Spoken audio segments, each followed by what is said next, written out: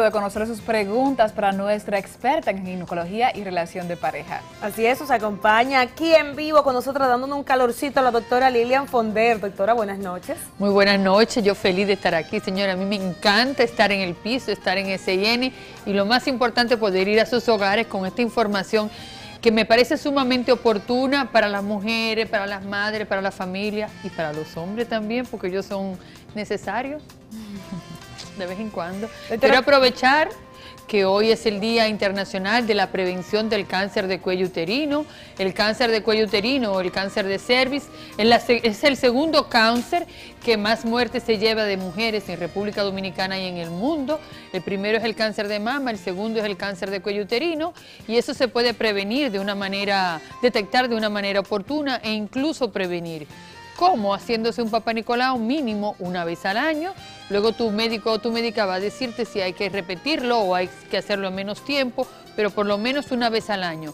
El cáncer de cuello uterino no empieza desde NIC 1 a cáncer invasivo, sino que hay etapas. Entonces es la ventaja de hacerse el Papa Nicolau.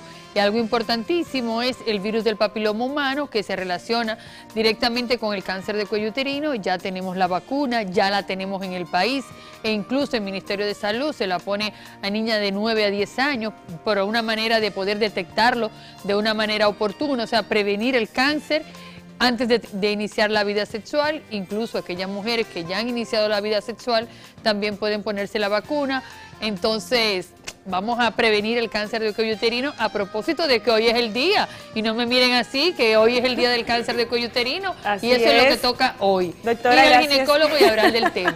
Gracias por esa información oportuna y además para concientizar a la gente que nos ve de que las mujeres deben hacer su papá Nicolau a tiempo. Doctora, tenemos otras inquietudes por aquí que no queremos dejar de responder de televidentes que están pendientes a su presencia. La primera dice, doctora, a mí me llega la menstruación casi dos veces al mes y muy abundante. Tengo 42 años, ¿eso es normal?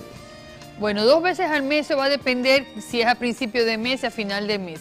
Si tu ciclo es un ciclo corto de 21, 22, 25 días, te puede llegar dos veces al mes. ¿Qué llamamos abundante? ¿Más de 7 días?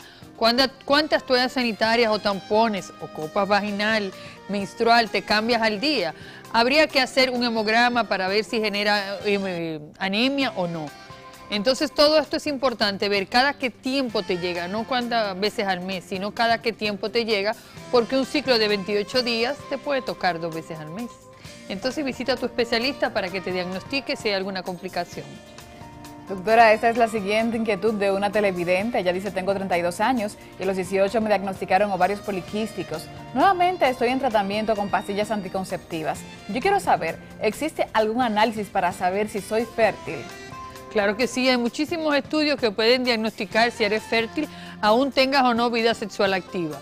Estudios hormonales y sobre todo hay que ver si tus trompas están permeables o no una histerosalpingografía, estudios hormonales para ver si ovulas o hay alguna hormona alterada y también una sonografía porque hay algunas alteraciones que pueden afectar tu fertilidad. ¿Qué sirve para aumentar las hormonas del hombre?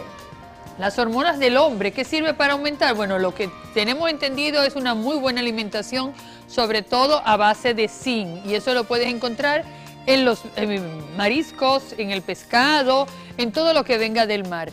También es muy importante una vida saludable, una vida con ejercicio y cuando hablas hormonas del hombre estamos hablando de testosterona, pero te puedes poner toda la testosterona del mundo y si no estás motivado, si no estás animado, si no hay algo que te motive, que te mueva, que te anime, pues entonces es difícil que tengas deseo sexual. Eso no se consigue con estimulantes sexuales, eso se consigue más sobre todo con la motivación, que muchas veces a los hombres le entra o porque le vaya muy bien económicamente o por los ojos. Muchísimas gracias, doctora. Finalmente. Usted no le invité la cara de Nairobi. Ay, qué duro es la jefa, siga. bueno, esa televidente tiene la siguiente inquietud. Ella dice, si alguna vez he tenido fantasías sexuales con otra mujer, soy lesbiana.